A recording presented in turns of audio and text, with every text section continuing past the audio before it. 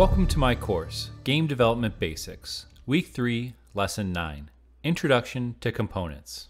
In this lesson, we'll explain components and common uses, and then we'll create a flashlight component. There's one thing that I want to fix very quickly in the player controller, and I'll show you what it is. If I look all the way down, eventually the controller will get messed up, and then I can't correct it. We can fix this here in our look up event, where we're adding from the old rotation to get a new rotation. Let's drag off here and type clamp and choose clamp float. And for the minimum, we're gonna set it to minus 80, and for the maximum, we're gonna set it to 80. What a clamp does is it sets the high and low limit that we can set this to. So it will stop at minus 80 when we're looking down and positive 80 when we're looking up. Now I can't get that error anymore. Now, we've been using components so far on all of our actors. The capsule component, arrow, mesh, spring arm, camera, and even the movement are all components that are pre-built into Unreal Engine. But Unreal Engine also allows us the ability to set up our own components.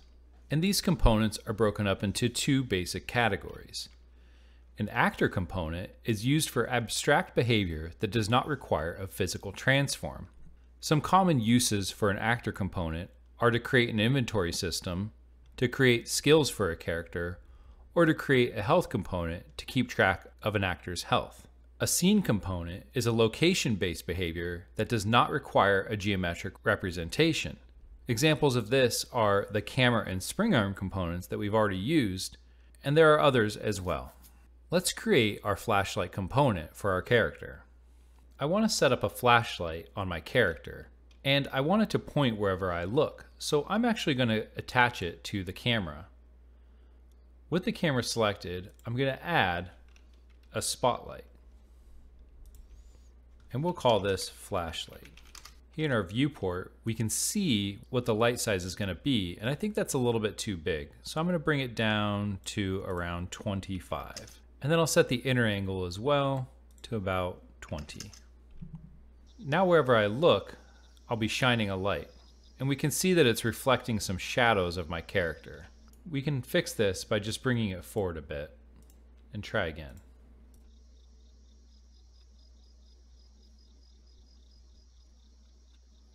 I'm pretty happy with that.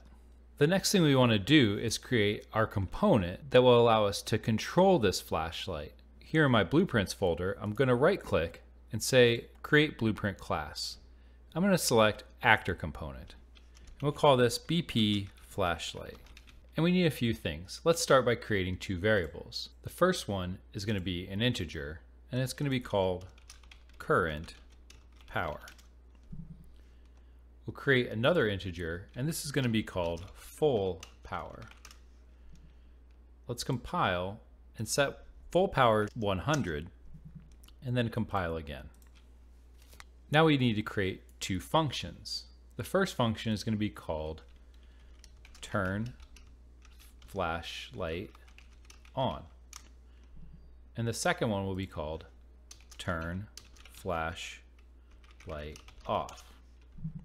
And we want to use these functions to control the flashlight that our character has. So let's get a reference to that right on the begin play. We can get player character and cast this to BP player character. And then we can get flashlight and save this as a variable. This will allow us to control the flashlight whenever we need to. And let's test this out by going to turn flashlight on, get flashlight, and set visibility. And we want the visibility to be checked. And we can do the same thing by copying this and putting this in flashlight off and then turning off the visibility. Now we need a control to be able to turn on and off the flashlight. And I'm going to choose F. So let's go to our project settings and inputs and set up a new action mapping. And this is just going to be called flashlight. And we'll assign it to F.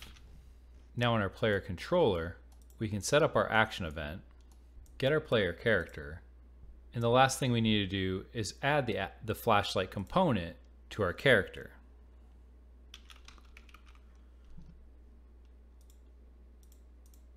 Let's get our flashlight event and then we'll get our player character reference, get the flashlight. And for this one, we want BP flashlight, not the light itself. And we'll get turn flashlight on. And for now, we'll hook up released to turn flashlight off. This means we'll need to hold the F key to show the flashlight, but we're going to use this just for testing for now. Let's compile and press play. And when I hold the F key, the flashlight turns on, and when I release it, the flashlight turns off. This is just a way to test that the functionality is working for now. Let's go back to our BP flashlight, create another new variable called isFlashlightOn, and this is going to be a boolean. In our turn flashlight off, let's set this to false. And in our turn flashlight on, let's set this to true. Now here in our controller, we can get that value and do a branch that checks if it's on when we press the flashlight.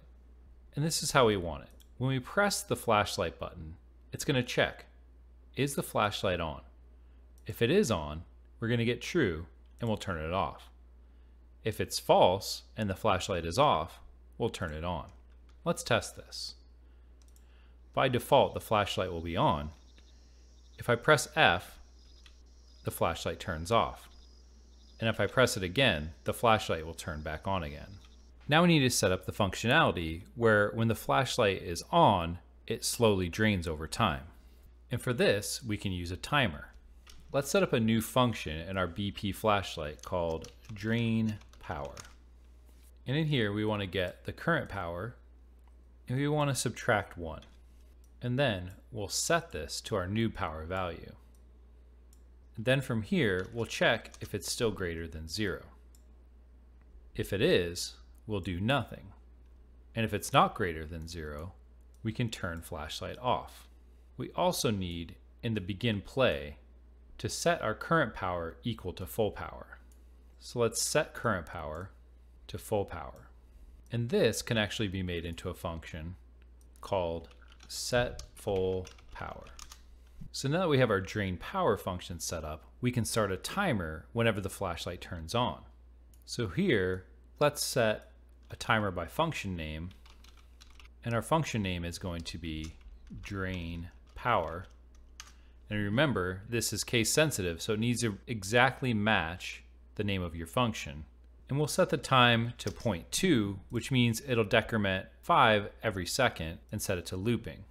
We can also make this into a variable called drain speed. And just for testing purposes, I want to set this to a much higher value.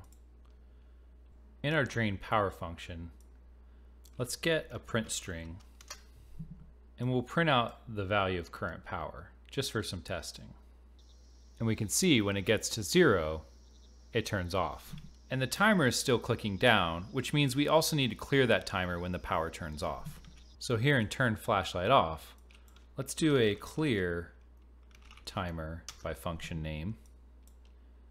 And that'll be drain power. Now when the flashlight turns off, we want to set another function to fill the power back up. Let's do a new function called fill flashlight power. And in this one, we want to get that current power again. This time we want to add and let's say we want the flashlight to fill twice as fast. So we'll put 2 here. And then we'll set this to the current power. Then we'll check, is it greater than or equal to full power? And if it is, all we want to do is clear timer for fill flashlight power. And just for testing purposes, let's also put a print string here so we can see what the power level is at. Now here in turn flashlight off, let's do a set timer, fill flashlight power. The timer can be the same and this needs to be looping. And one more thing, That way we don't have two competing over each other. On the turn flashlight on, let's clear that timer.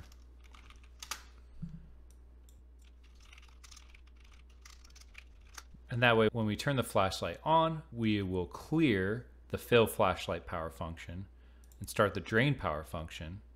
In drain power, when we get to zero, we'll turn flashlight off, which means we'll clear the timer for drain power and set a new timer for fill flashlight power. And in fill flashlight power, if we get to full power, we'll turn off the timer for fill flashlight power. Let's compile this and just check everything's working.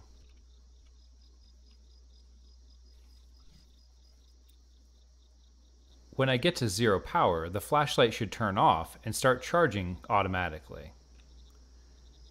And there we have it. And it should go all the way to 100 or whatever the full power is, and then clear. If I turn it off in the middle before it drains, it should also start to fill back up. And just to avoid weird behaviors, let's also clamp these values. So here, we're going to use a clamp integer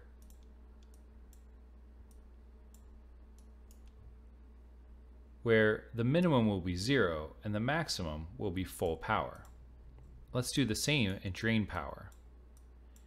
Here, let's clamp again, where the minimum is zero and the maximum is full power. And this will just avoid any strange behaviors. And that's it. We've created our flashlight component, which means we have a good basis for our project. In the last lesson for this week, we'll just go over a few steps for finishing up our level design before we move into week 4.